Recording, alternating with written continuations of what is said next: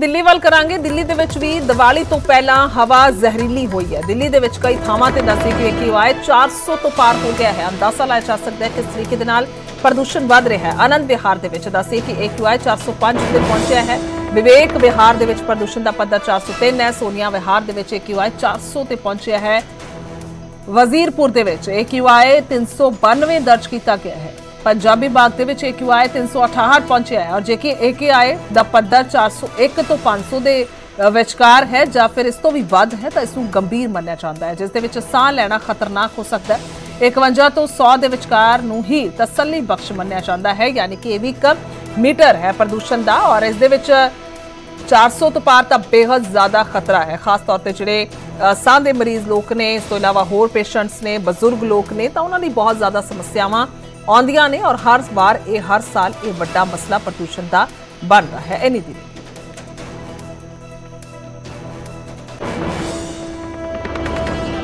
बहुत काफ़ी लग रहा है सर कि ऐसा जलन आंखों में आती है रह नहीं जाता है जैसे कि, कि कोई दवाई डालो और कुछ डालो ड्रॉप डाल के ही काम चल रहा है हाँ सर न पानी का छिड़काव हो रहा न और चीज़ की छिड़काव हो रहा है न दवाई की हो रही है कुछ यहाँ महसूस नहीं होता है कुछ नहीं अंधेरा धुंधलापन हमेशा रहता है।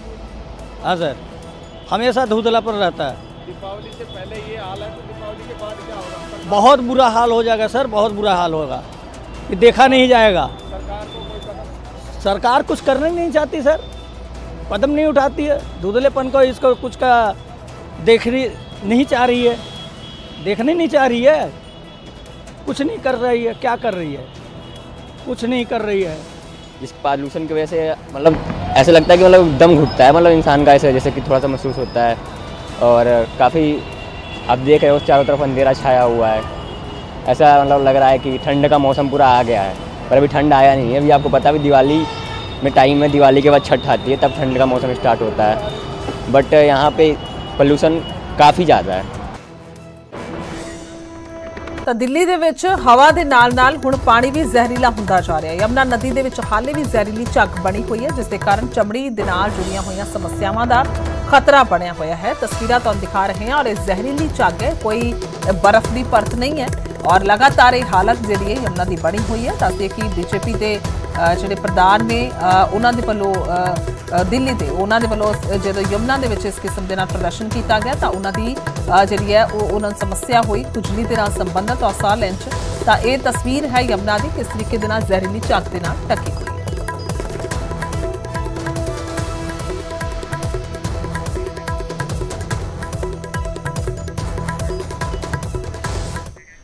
ਉਧਰ ਸੀਐਮ ਮਾਨ ਨੇ ਕਿਸਾਨ ਯੂਨੀਅਨਾਂ ਨੂੰ ਅਪੀਲ ਕੀਤੀ ਹੈ। ਸੜਕਾਂ ਤੇ ਬਹਿਣਾ ਉਹਨਾਂ ਕਿਹਾ ਹੈ, ਕੋਈ ਸਮੱਸਿਆ ਦਾ ਹੱਲ ਨਹੀਂ ਹੈ। ਤਾਂ ਰੋਜ਼-ਰੋਜ਼ ਧਰਨਿਆਂ ਦੇ ਨਾਲ ਲੋਕ ਪਰੇਸ਼ਾਨ ਹੁੰਦੇ ਨੇ ਔਰ ਲੋੜ ਤੋਂ ਵੱਧ ਕੋਈ ਵੀ ਚੀਜ਼ ਮਾੜੀ ਹੁੰਦੀ ਹੈ, ਸੀਐਮ ਨੇ ਇਹ ਕਿਹਾ ਹੈ। ਮੁਸ਼ਕਿਲ ਦਾ ਸਾਨੂੰ ਵੀ ਪਤਾ ਹੈ, ਅਸੀਂ ਲੱਗੇ ਹੋਏ ਹਾਂ। ਖਰੀਦ ਅਤੇ ਲਿਫਟਿੰਗ ਕਰ ਰਹੇ ਹਾਂ ਤਾਂ ਕੱਲ ਦਿੱਲੀ ਦੇ ਵਿੱਚ ਕੈਬਨਿਟ ਮੰਤਰੀ ਜੇਪੀ ਨੱਡਾ ਨੂੰ ਸੀਐਮ ਮਾਨ ਮਿਲੇ ਸਨ ਤਾਂ ਕੇਂਦਰੀ ਮੰਤਰੀ ਦੇ ਕੋਲ ਡੀਏਪੀ ਦਾ ਮੁੱਦਾ ਚੁੱਕਿਆ। ਡੀਏਪੀ ਦਾ 1.5 ਲੱਖ ਮੀਟ੍ਰਿਕ ਟਨ ਦਾ ਗੈਪ ਹੈ।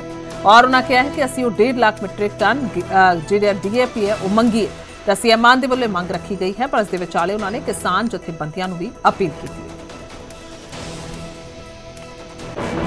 ਬੇਨਤੀ ਕਿਸਾਨ ਯੂਨੀਅਨਾਂ ਨੂੰ ਕਿ ਸੜਕਾਂ ਤੇ ਬਹਿਣਾ ਕੋਈ ਬਹੁਤਾ ਜ਼ਿਆਦਾ ਲੋਕਾਂ ਨੂੰ ਤੰਗ ਕਰਨਾ ਜਾਂ ਕੋਈ ਹਰ ਗੱਲ ਤੇ ਫਿਰ ਜ਼ਿਆਦਾ ਹੋ ਜਾਂਦਾ। Excess of everything is bad ਸਾਨੂੰ ਵੀ ਪਤਾ ਹੈ ਸਮੱਸਿਆਵਾਂ ਦਾ ਮੁਸ਼ਕਲਾਂ ਦਾ। ਪਰ ਜਿਵੇਂ ਜਿਵੇਂ ਸਾਡੇ ਕੋਲੇ ਮੰਡੀਆਂ 'ਚ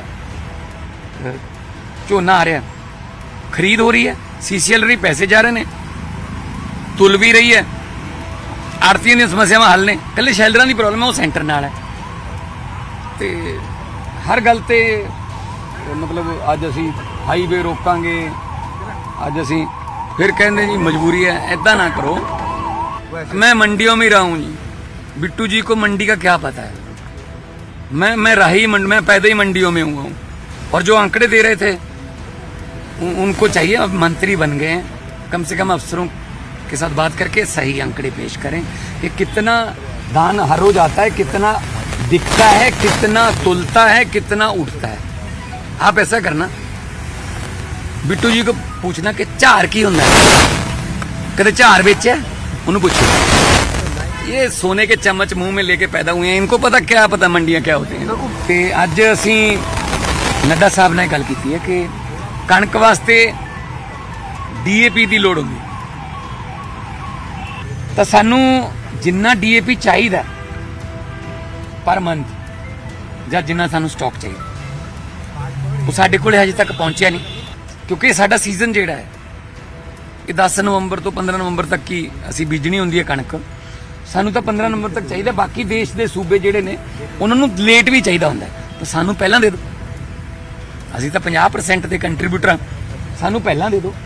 ਬਾਅਦ 'ਚ ਤੁਸੀਂ ਜਿਵੇਂ ਜਿਵੇਂ ਤੁਹਾਨੂੰ ਸ਼ਿਪ ਆਉਂਦੇ ਰਹਿਣਗੇ ਉਵੇਂ ਉਵੇਂ ਤੁਸੀਂ ਦੂਸਰੇ ਸੂਬਿਆਂ ਨੂੰ ਦਿੰਦੇ ਰਹੋ।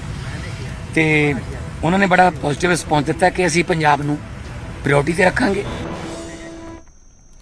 ਝੋਨੇ ਦੀ ਖਰੀਦ ਤੇ ਲਿਫਟਿੰਗ ਨੂੰ ਲੈ ਕੇ ਕਿਸਾਨਾਂ ਦਾ ਧਰਨਾ ਜਾਰੀ ਹੈ। ਰਾਤ ਪਰ ਹਾਈਵੇ ਤੇ ਕਿਸਾਨ ਡਟੇ ਰਹੇ ਨੇ। ਤਾਂ ਪੰਜਾਬ ਦੇ ਵਿੱਚ ਪੰਜ ਥਾਵਾਂ ਤੇ ਨੈਸ਼ਨਲ ਹਾਈਵੇ ਜਾਮ ਕੀਤੇ ਹੋਏ ਨੇ। ਪੰਜਾਬ ਅਤੇ ਕੇਂਦਰ ਸਰਕਾਰ ਮਿਲ ਕੇ ਹੱਲ ਕਰਨ ਮਸਲਾ ਅ, ਸਰਵਨ ਸਿੰਘ ਪੰਦੇਰ ਦੇ ਵੱਲੋਂ ਕਿਹਾ ਗਿਆ ਹੈ। ਤਾਂ ਦੱਸਦੇ ਕਿ ਲੋਕਾਂ ਨੂੰ ਬੇਹੱਦ ਪਰੇਸ਼ਾਨੀ ਹੋ ਰਹੀ ਹੈ। ਕੱਲ ਤੋਂ 1 ਵਜੇ ਦੇ ਕਰੀਬ ਤੋਂ ਇਹ ਧਰਨਾ ਜਿਹੜਾ ਹੈ ਉਹ ਲੱਗਿਆ ਹੋਇਆ ਹੈ ਔਰ ਇਸ ਦੀ ਵਜ੍ਹਾ ਦੇ ਨਾਲ ਲੋਕ ਡਾਢੇ ਪਰੇਸ਼ਾਨ ਹੋ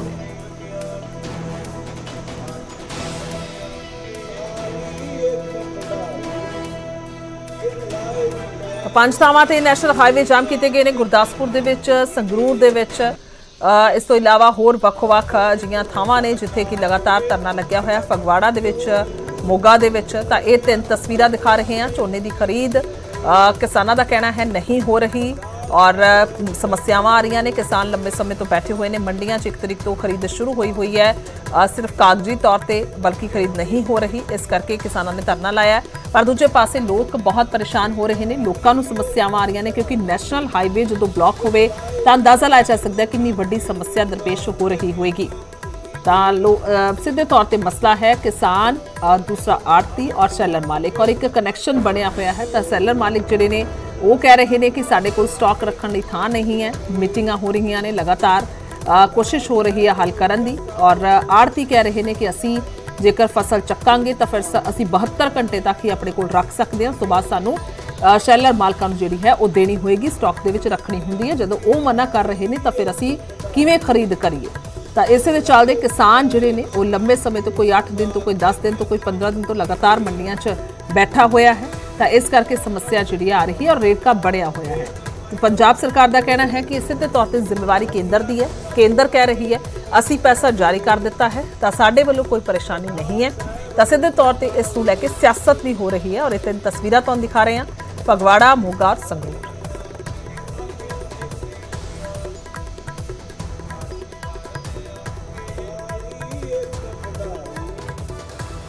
ਦੂਸਰਾ ਦਿਨ ਆ ਫਗਵਾੜੇ ਦੇ ਵਿੱਚ।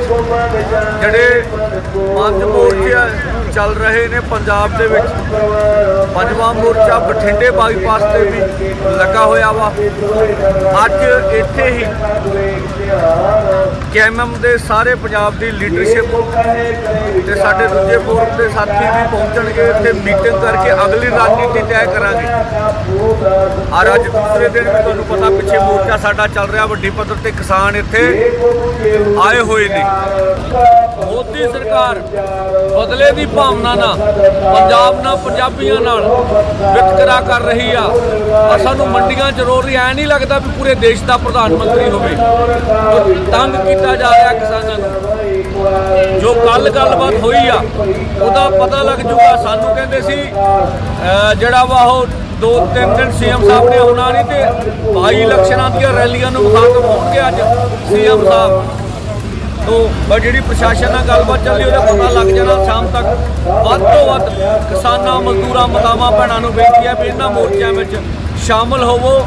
ਅਸੀਂ ਲਗਭਗ ਜੋ ਕੁਝ ਵੀ ਇੱਥੇ ਜਾਮ ਪਿਆ ਸੀ, ਰਾਤ ਇੱਕ ਵਾਰੀ ਬੰਦੇ ਖੱਟ ਕਢਾ ਦਿੱਤੇ ਸੀ, ਐਮਰਜੈਂਸੀ ਸੇਵਾ ਬਹਾਲਿਆ ਵੀ ਕਿਸੇ ਲੋਕਾਂ ਨੂੰ ਤੱਕ ਨਾ ਸਾਈਡ ਵਿੱਚ ਚਲਾ ਕੇ ਇੱਕ ਵਾਰੀ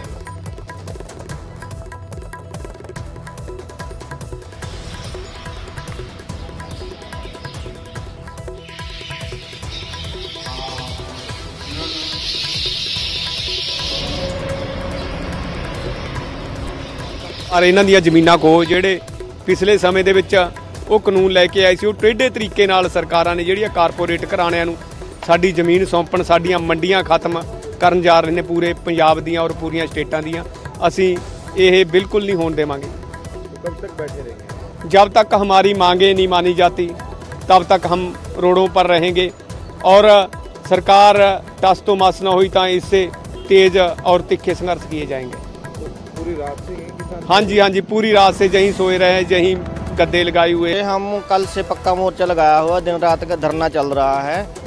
जितनी देर तक सरकार किसानों की जो जोना मंडियों में पड़ा है उनको नहीं उठाती उतनी देर तक ये पक्का मोर्चा ऐसे ही पाँच जगह पे पूरे हाईवे जाम किए हुए हैं वो चलता रहेगा।